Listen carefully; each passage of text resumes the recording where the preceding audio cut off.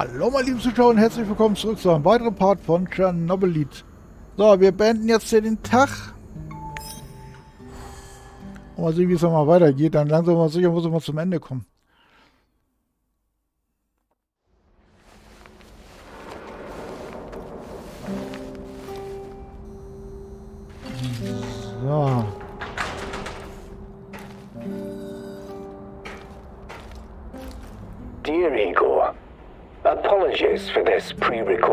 Message, but it's for your own safety.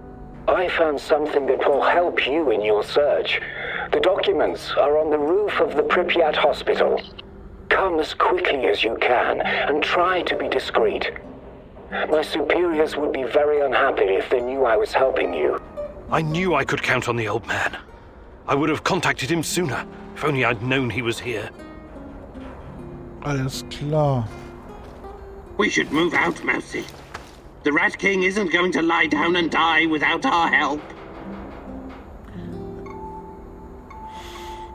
Ähm, so, warte mal, ich muss mal ganz kurz gucken. Ach ja, scheiße, ich muss noch was in den... Kacke, das hatte ich vergessen.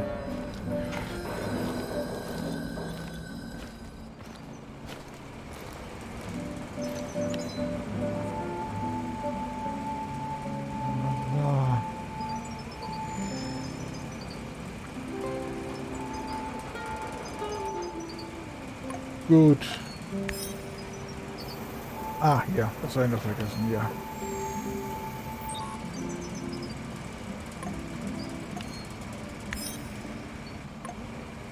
Okay, das habe ich jetzt auch vergessen.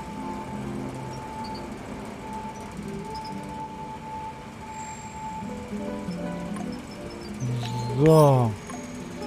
So, wie viel habe ich hier noch? 82, hier noch 154. Das reicht.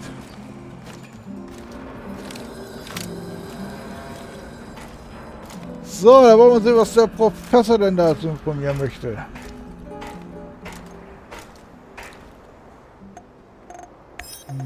So. Warte mal, das ist hier so in den gelben Bereich. Moment mal ganz kurz. Die Strahlungsmedizin.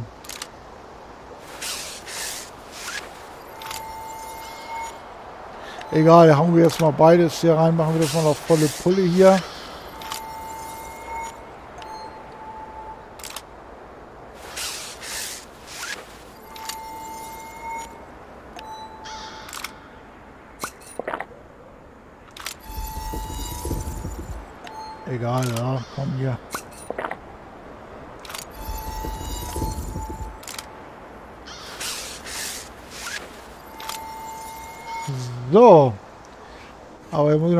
Zurück und gucken, ob ich noch was herstellen kann.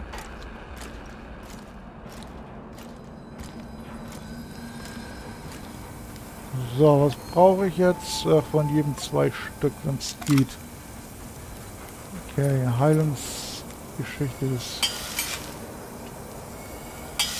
Okay, jetzt bin ich kräutermäßig blank und jetzt kann ich den anderen Kram nicht mehr herstellen. Scheiße. Egal, gut.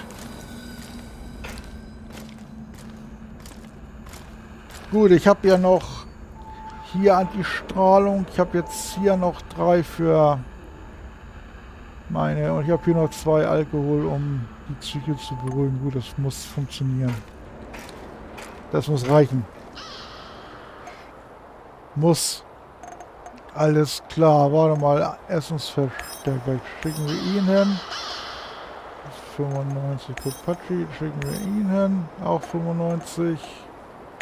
Und da schicken wir ihn hin, 73.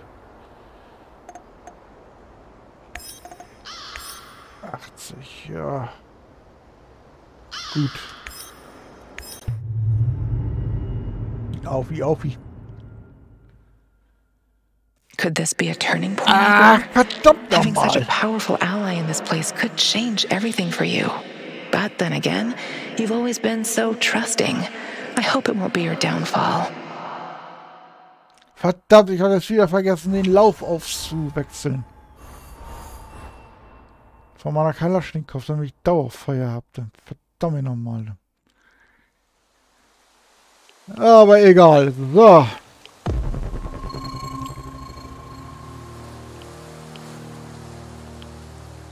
So.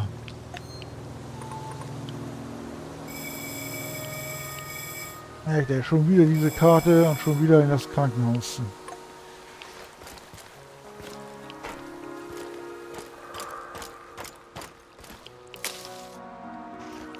Okay. Ja, ich renne hier einfach einfach hier die Hauptstraße entlang.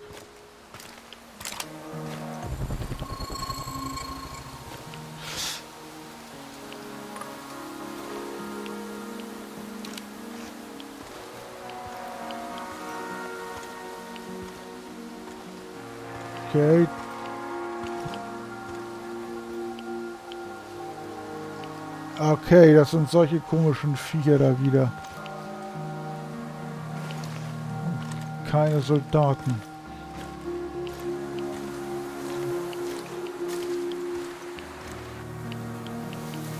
Okay, die versuche ich da mal zu umgehen.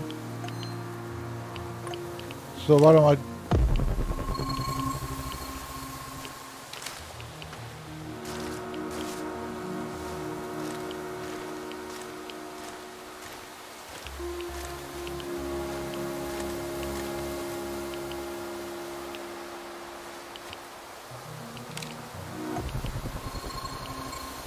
Ist hier schon wieder irgendetwas?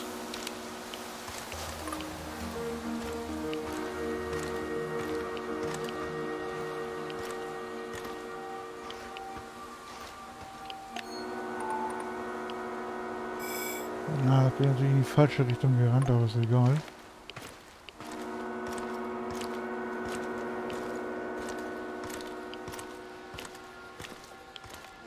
So, warte mal, gibt es vielleicht einen kürzeren Weg hier vielleicht? Na, vielleicht hier durch.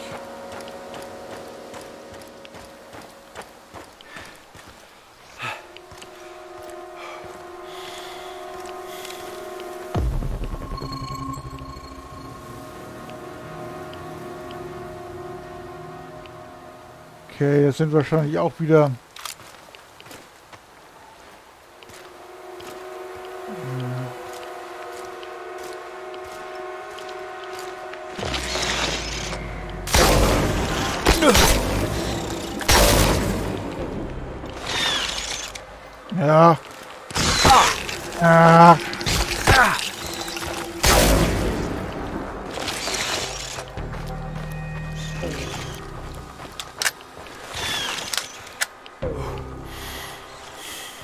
Das Vieh verfolgt mich, ne?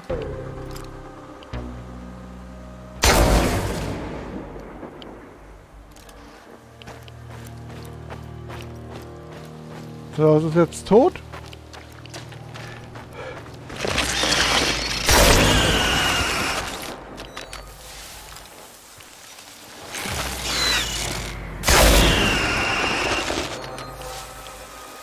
So. Schnauze voll hier von den Viechern. Du. So. Also das Krankenhaus ist dann gleich da. Hä?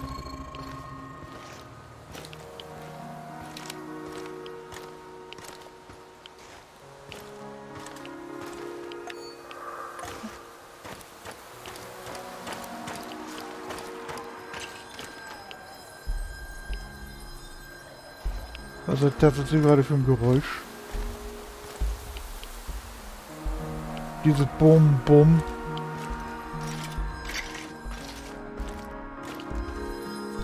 Ist das jetzt hier die Musik oder?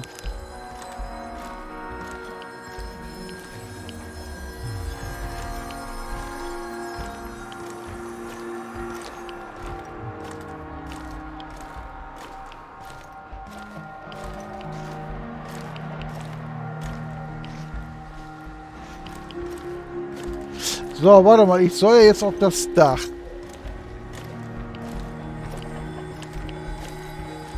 Aber...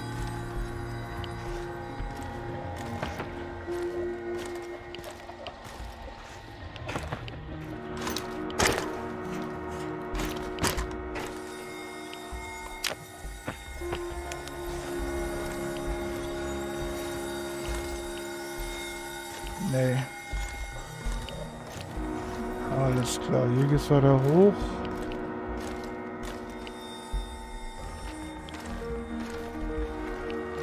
So, aber... Na, hier geht's auch nicht weiter.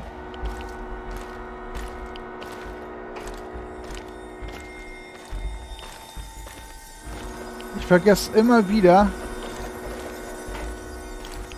wo das Treppenhaus ist. Beziehungsweise wo es noch einen Weg nach oben gibt. Ah, hier. Ja. Yeah!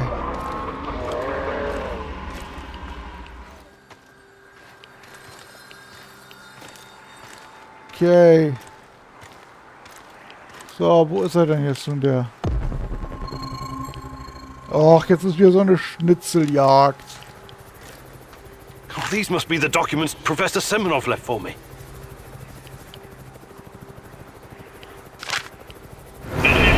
Oh, nein!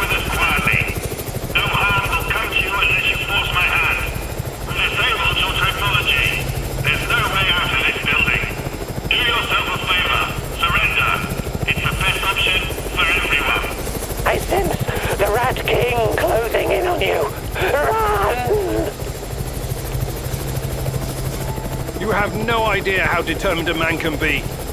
I'm not going anywhere. Actually, I do. Please remember, Igor, I didn't want it to go this way.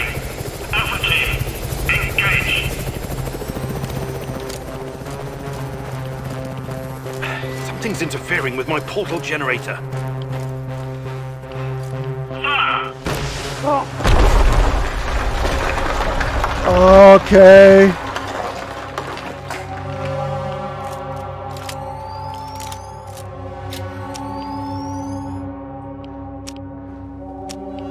Scheiße, funktioniert nicht.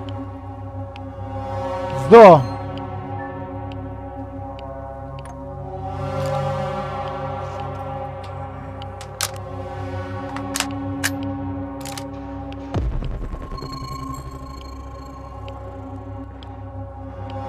Ach du Scheiße. Ach.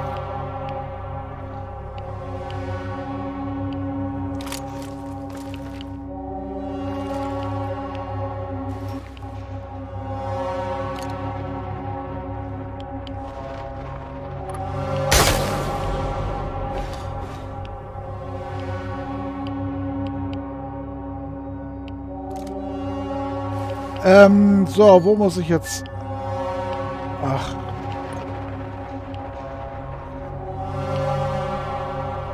Ach, du grüne Kacke.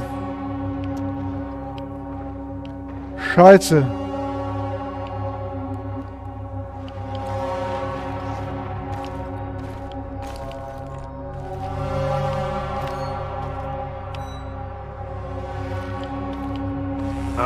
This is what's blocking my portal generator. There's more than one jamming device. Ah, they really put the effort into setting this trap.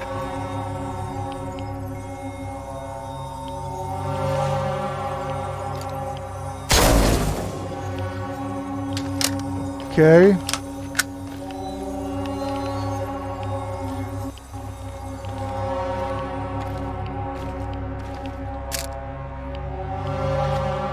Gut, es gibt mehrere solche Störgeräte. Die muss ich jetzt alle ausschalten, damit ich meinen Portalgenerator wieder benutzen kann. Na super.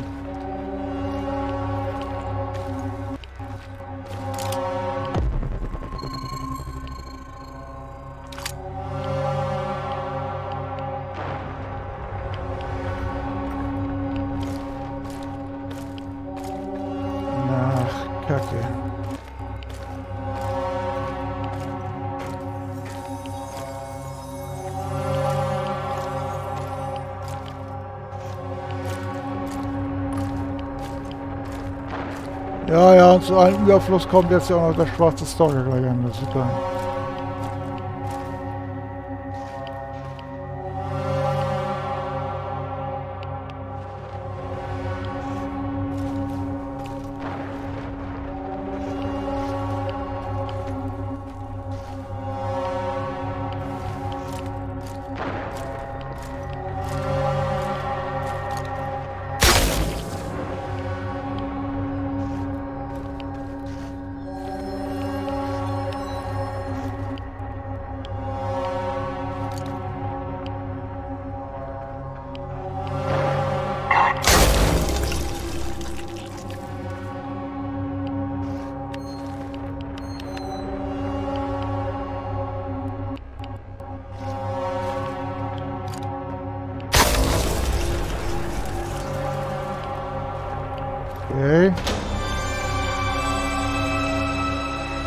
Turn that thing off.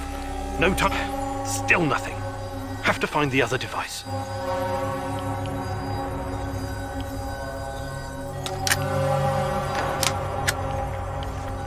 Okay.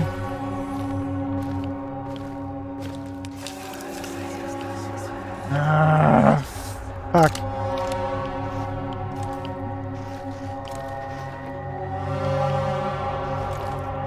Okay.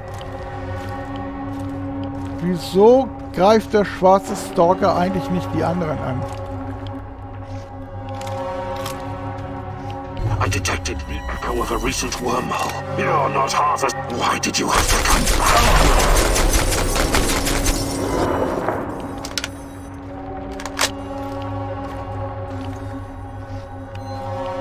Let's see what you're made of. You're full of surprises, but it's not over yet.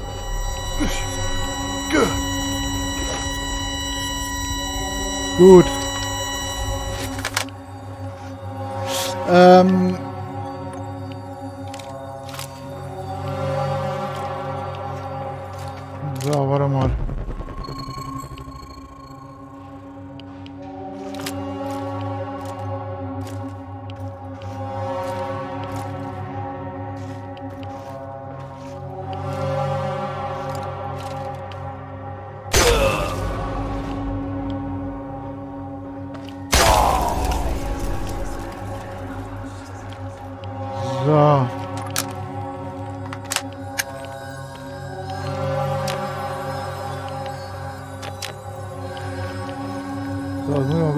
Psyche hier beruhigen.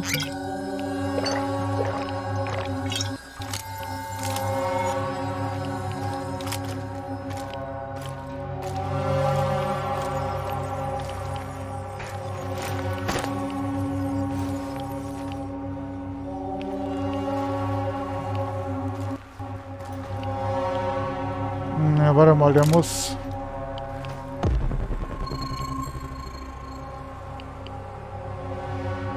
Das Gerät hier muss genau über mir sein, ein Stockwerk höher.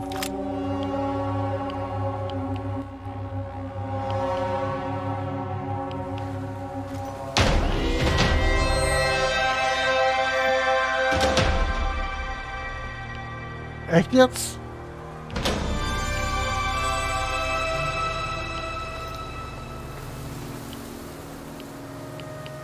Nee, das kann nicht sein, dass die Quest jetzt abgeschlossen ist.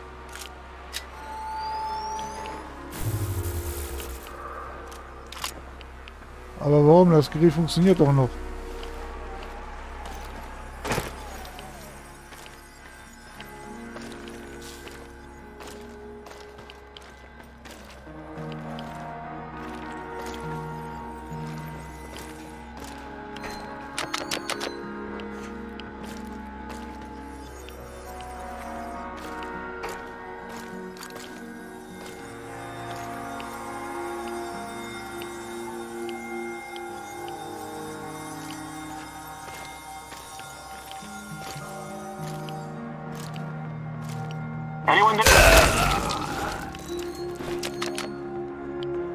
So.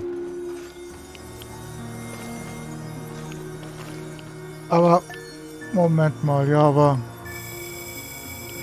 Ja gut, dann könnte ich jetzt eigentlich verschwinden, ne?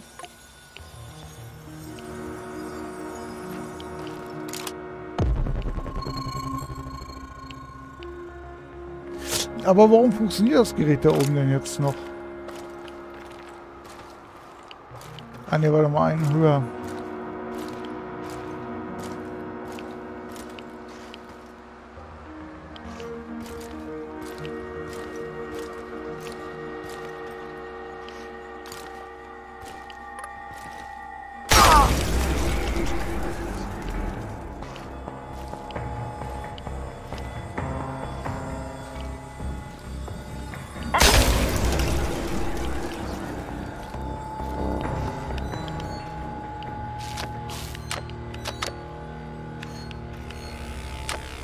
It must be interfering with the Chernobylite somehow.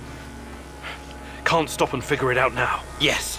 Now I can use my portal generator to get the hell out of here.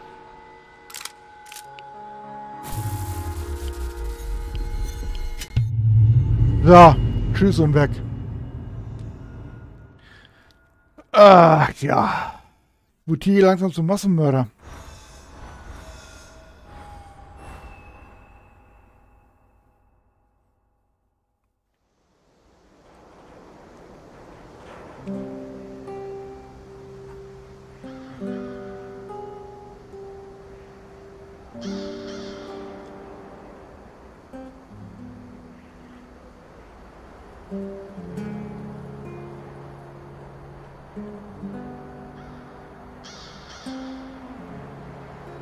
Okay.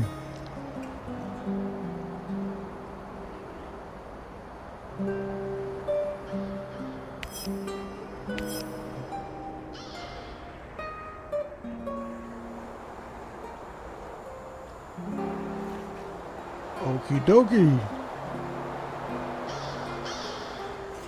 Alles klar. So. I can hear his voice again, Mousy. He whispers. The Rat King is talking to you. I wouldn't call it talking necessarily. It's more like a feeling of impending doom. Terror. It's always there, rustling about in the shadows. I can feel its gaze upon me, inhuman, infernal, like something from the void. Who is the Rat King?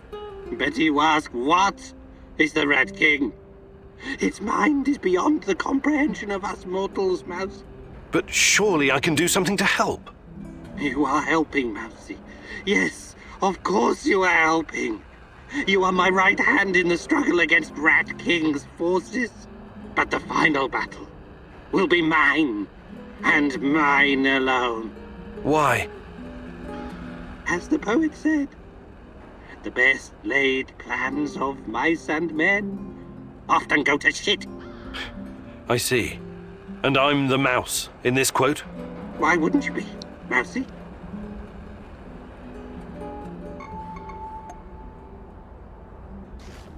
Okay, dann reden wir nochmal mit den anderen. What's new, Igor? Nothing much. What about you? Still thinking about Anton? Yeah, we had some great adventures together as mercenaries. I remember Anton talking about Casham. What was that all about? Kashim was a nasty piece of business. How much do you know about the civil war in Syria? Not much. I've had uh, other things on my mind. You and the rest of the world. Nobody cares about those people. For the big players, Russia, the US, China, most of these war-torn countries are nothing but a playground for testing their weapons and making policy. It's called war by proxy. Us mercs usually play a supporting role to the armies on the ground, supplying intel, equipment, and tech. There's an unspoken rule that we never attack each other directly, but sometimes we get in each other's way, and then things can get out of hand. That's what happened in Kashim. Assad's forces, backed by Russian mercenaries, clashed with the SDF, which was supported by the US. The US used dozens of drones, fighter jets, and helicopters to pretty much annihilate the opposition. Anton and his mercenary buddies weren't equipped to deal with that kind of air superiority. He watched some of his friends die, and came close to getting killed himself. I admire your bravery and dedication, Olivier. And Anton's. Still, I can't help but wonder why we keep killing each other over some godforsaken strip of land. It goes against everything I believe. And I admire your idealism, Igor. But you're in the minority, and sometimes violence is the only way to solve a problem. That's something I think you're going to learn in the near future.